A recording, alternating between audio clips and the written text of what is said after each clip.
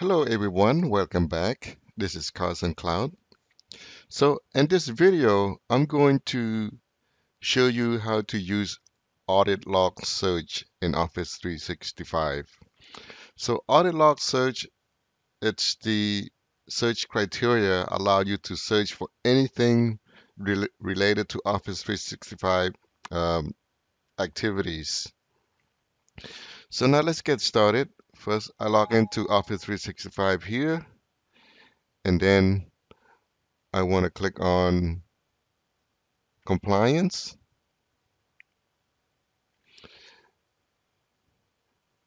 You can access Audit Log Search right from Office 365, or you can go to protections.office.com.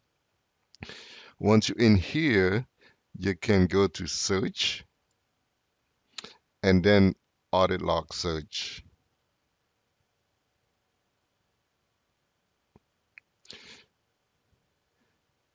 With audit log search, you can choose the result of the, all activities, or you can specify what you want to look for.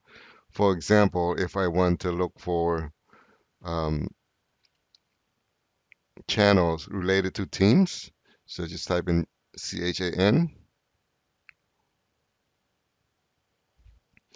And as you can see here, there's deleted channel. I can search for anything about deleted channels or added channels.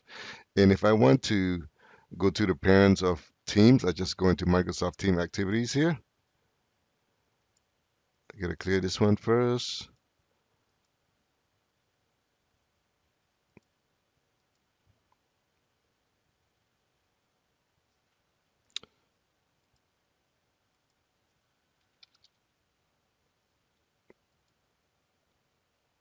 Microsoft Teams activities.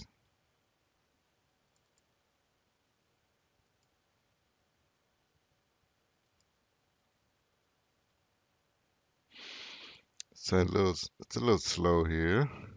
Let's try again. Searching for Teams.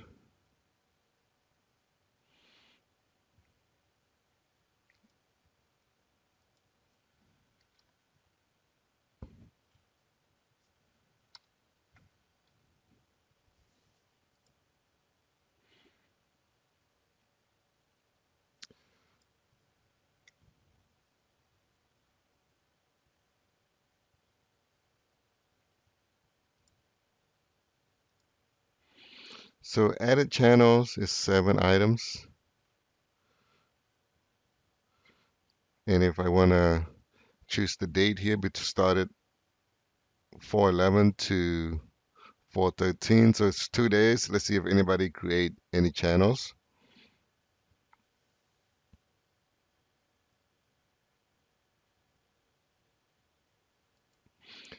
So there's no data between those dates. Let me clear it out. You can clear the activity um, result here by clicking on the clear up um, button, or you can go into, let's choose channel again. Well, let me search for anything um, between the the 11th and the 13th. Click on search. So when you want to access audit log search, you need to turn on the audit logs. If your tenant is new and you never turned it on before, by default, the audit logs is turned off. So you need to turn it on once you uh, log into your Office 365 and go into audit log search. There should be a button here that says enable audit logs and it can take up to 24 hours. So here's the result of all the activities within Office 365 tenant. And if I want to specify a user, I can do so here.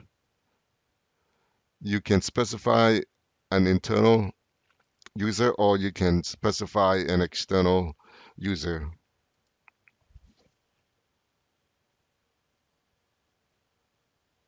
So as you can see, so everything here is related to Adele. And also you can create alert policy by clicking on the new alert. and give it a name called test. The descriptions, customs, and the send this alert when.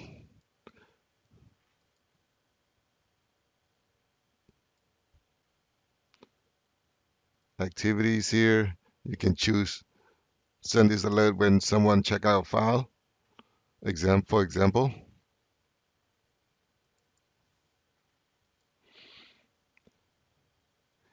And send this alert to, who do you want to send it to? Um, an administrator. So that's what you can do with the alert policy. I'm going to cancel it out. And also you can do audit retention policy. so you want to give it a name, test. The descriptions, give it a descriptions, record types, uh, record types is regarding what do you want to look for? Azure Active Directory, CRM, data governance, or Microsoft Teams. Let me choose Microsoft Teams. Activities, what kind of activities you want to look for? Microsoft Team act activities, so everything related to Microsoft Teams. Durations within the, you want to keep it for one year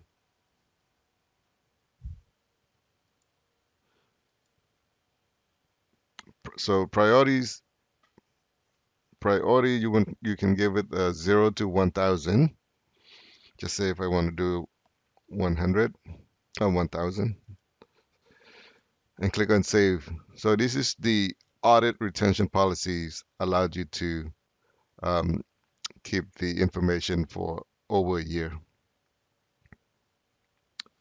let me cancel it out. So that's the audit log search. Again, you need to turn on the audit log search for Office 365 to keep all the records regarding activities within your Office 365. Thank you for watching. If you like the video, please don't forget to subscribe. And, oh, sorry, one more thing. So you can filter the result here, or you can export the result. So you can export to a, uh, I think an Excel file. Let's see, save result or download our result. Yep, it's a CSV file. And if you want to learn more about the audit logs, you can click on the about search, about searching the audit logs here. So that's it, folks. Thank you for watching and have a great day.